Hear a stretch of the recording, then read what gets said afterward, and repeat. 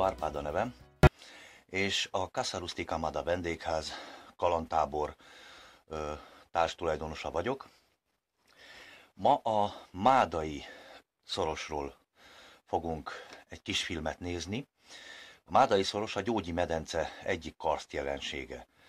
Itt több van természetesen, tehát a környéken látható még a Bakonyai szoros, Csibi szoros, a Glódi szoros, Erdőfalvi, Balsai, Sárgafalvi, Vörösfalvi, és így tovább, és így tovább. Tehát van összesen kilenc szoros a környéken, amit úgy nagyjából mondjuk négy nap alatt be lehet járni.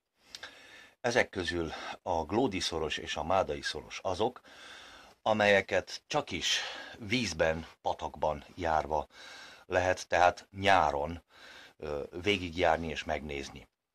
A Mádai szoros, mivel hát most itt vagyunk a Mádai szoros déli bejáratánál, a Casa Rustica Mada kalandtábor és vendégház udvarán. Ez épp az egyik kis vendégházikónk, faházikónk, ahol most ülök, és a reggeli almámat rákcsálom, amit most épp a fáról innen szedtem le. Úgy, tehát a Mádai szoros. A Mádai szoros az olyan durván 4 kilométer hosszú. A déli bejárata, tehát a mi oldalunkon levő bejárata mellett jobb oldalon sziklamászási lehetőségek is vannak. 5 plusztól 9 plusz nehézségi fokozatig. A mászó lehetőségek mellett kicsit fennebb van a falazott barlang, aminek egy nagyon érdekes legendája és meséje is van. Nem épp könnyű mondjuk oda felérni, de azért megéri, gyönyörű szép panoráma is látható onnan a nagyági hegyek felé. Nagyág az ugye itt van a következő domb vonulat mögött, és ott van a bányavidék, ugye a Csertezsi Boksai bányavidék, ahonnan régen valamikor az első aranyat, ezüstöt és különböző fémeket bányázták ki a régiek, a régi lakósok, és ezt az arany útján vitték a Maros felé, majd később, mikor a rómaiak elfoglalták ezt a területet, akkor a Maros partjáról tovább vitték az akkori római fővárosba, az Ulpia Traiana Colonia Dacica felé, ami hátszeg mellett látható, mint egy mini Róma, mondjuk úgy. Na most, visszatérve ide, tőlünk pár méterre, azaz, hogy nem egész 500 méterre indul a szoros, és majd mindjárt látjátok a, a kisfilmet, amit drón és helyi kép sorból állítottam össze nektek. Amennyiben szeretnétek ezt, és nem csak ezt, hanem más csodát és gyönyörűséget is látni, szívesen várunk a Casa Rustica Mada Adventure Camp vendégházban, kalantáborban. Programjaink bármilyen zsebnek és bármilyen korosztálynak megfelelőek. Vannak gyalogtúráink, vannak terepjárós túráink, ahol idegenvezetővel, terepjáróval bejárunk olyan helyekre, ahova gyalog nagyon nehezen, sok idő alatt, vagy egyáltalán nem tudnátok elérni, és elsősorban nem is tudtok azokról a gyönyörűségekről, régi romokról, amelyek az erdők mélyén, a hegyek tetején, úttalan utakon érhetőek el, és csapatunk ezeket ismeri, és elmeséljük a történeteket, a legendákat minden egyes helyen, gyönyörködünk a panorámákban is. Tehát amennyiben akartok, szívesen jöhettek, idejében foglaljatok, a kisfilmben megjelenik majd alól a a sorban, ugye az írás sorban a telefonszám és az e-mail cím is, na meg hát a Facebook oldalak is elérhetőek itt-ott. Privát üzenetben vagy telefonon nyugodtan el lehet érni minket.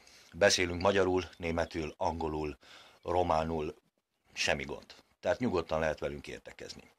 Várunk egy gyönyörűséges völgyben, várunk csodaországban, hogy felfedezd ennek titkait és rejtett kincseit. Minden jót, gyere velünk!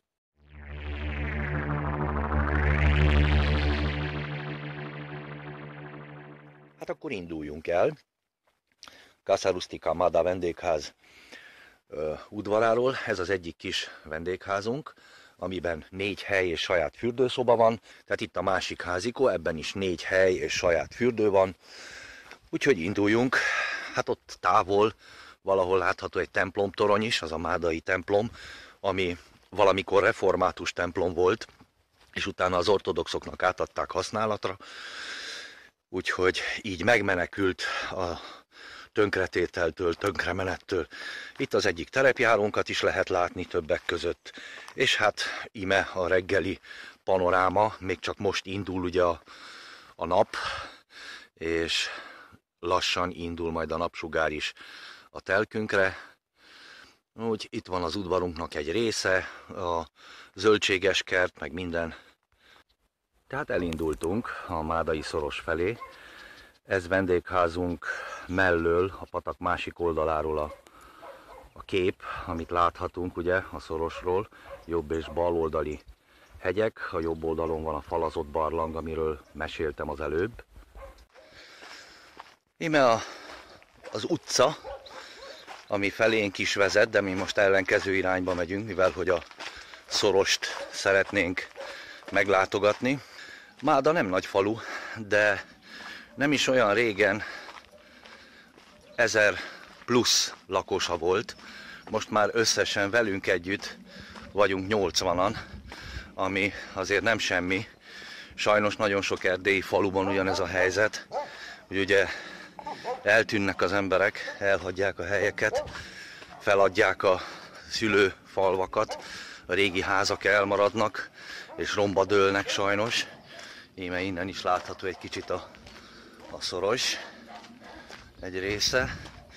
És hát, na, mind gyarapodik ugye a romhalmaz, ahelyett, hogy nőnének a házak. Mi megy elhagyatott ház itt a falu kellős közepén. Ha minden jól megy, megpróbáljuk majd megmenteni, azaz, hogy felvásárolni és kicsit rendbe tenni, mert érdemes lenne. A volt református templom, amit most a helybéli ortodox gyülekezet használhat.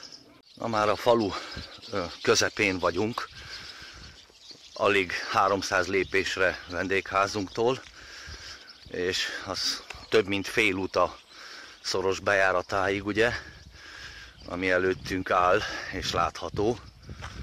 Íme egy kis panoráma innen a falu központjából, már amennyire látható, mivel hogy szembesüt a nap egy kicsit helyenként, a reggeli nap, ugye? És hát arra tulajdonképpen itt az erdő mögött van már a Nagyági hegység, ahol, mint mondtam, az első bányavidék volt, még mielőtt a mai Vöröspatak, illetve az akkori Alburnus Major felé indultak el a rómaiak, hogy onnan is kezdjenek el bányászni, ugye.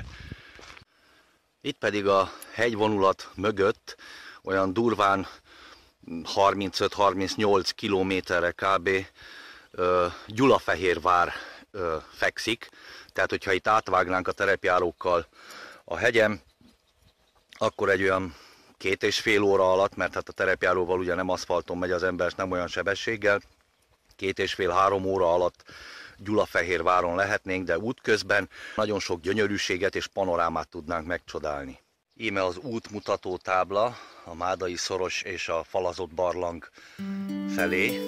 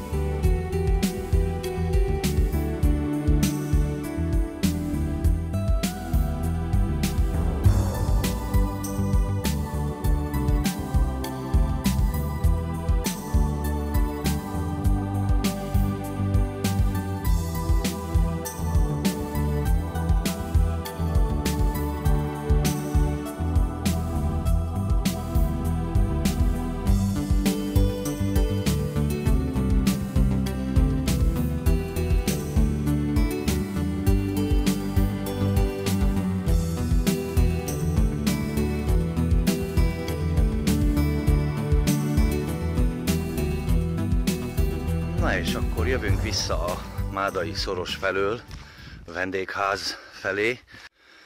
A falu közepén vagyok, visszaúton a Kasarusztika Mada vendégház felé, Kalantábor bázisa felé, és itt mindjárt lesz egy utcácska bal felé, és a villanyoszlopon van a piros kereszt fehér alapon, és az útmutató tábla a Csibiszoros erdőfalva és Zalatna felé vezető út, turista út jelzése, ami egyúttal a mi udvarunkra is átvezet. Ha a város felől jöztök, ha a város felől jöztök, mint az útról közelítitek Mádát, akkor ezt fogjátok látni.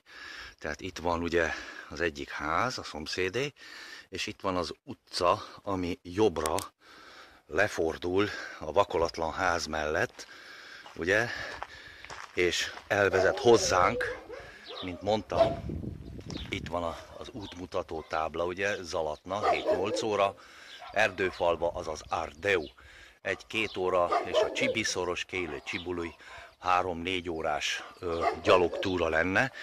Majd innen, ha az ember az ellenkező irányba megy, akkor a Nagyági hegység felé vezet, és Algyógyon ér véget ez a jelzés, mármint Feredőgyógyon, bocsánat, ott ér véget, és ezen az utcácskán kell bemenni, ahhoz, hogy hozzánk érjen az ember.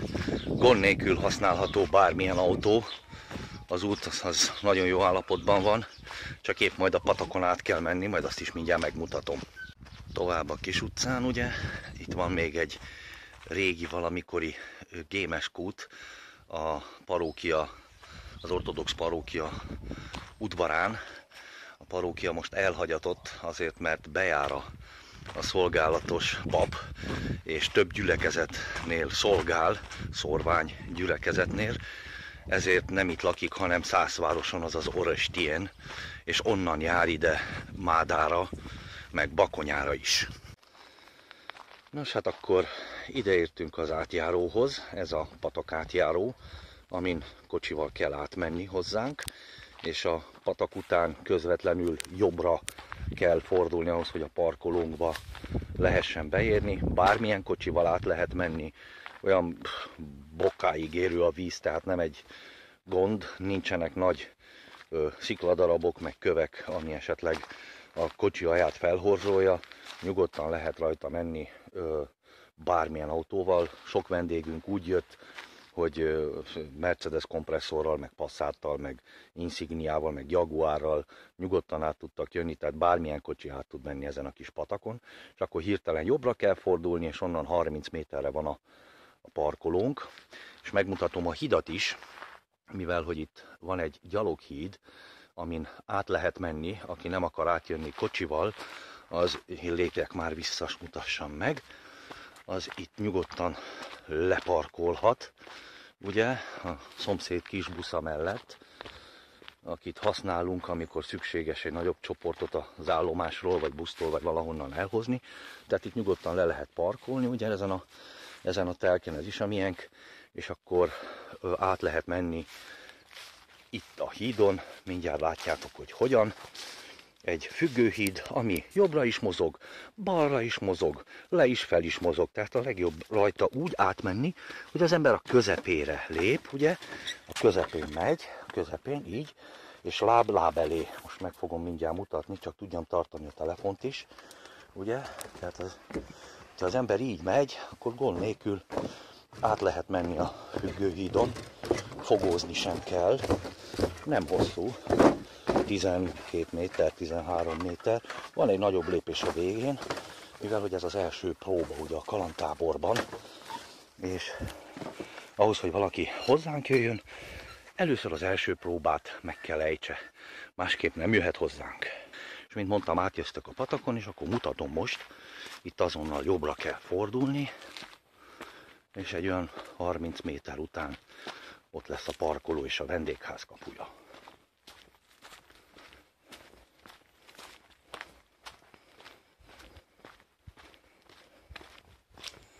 Mint mondtam, bármilyen kocsival lehet jönni, nem probléma. De ha nagyon szükséges, akkor áthozlak telepjáróval, nem gond. Csak akkor más úton fogunk jönni. Nem ezen az egyszerű autópályán, ahogy én mondom neki. Ugye? És íme itt van a telkünk, itt van a parkoló. Most épp működik a szivattyú rendszerem is. És hát ott van ugye a fehér kutyus, a Max, aki vigyáz a házra, vigyáz ránk is, és egy kis barátságos 80 kilós kubasz. Foglalj most szállást és saját programot csapatunkkal.